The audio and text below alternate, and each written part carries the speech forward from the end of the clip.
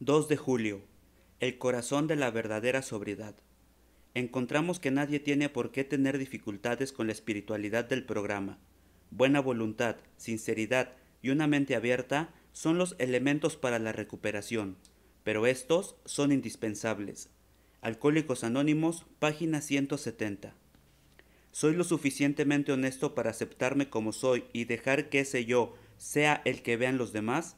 Estoy dispuesto a hacer todo esfuerzo, todo lo necesario para mantenerme sobrio. Tengo la amplitud de mente para escuchar lo que debo escuchar, pensar lo que debo pensar y sentir lo que debo sentir. Si mi respuesta a estas preguntas es sí, quiere decir que sé lo suficiente respecto a la espiritualidad del programa para estar sobrio.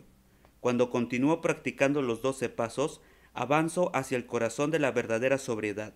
Serenidad conmigo mismo, con otros y con Dios, como yo lo concibo.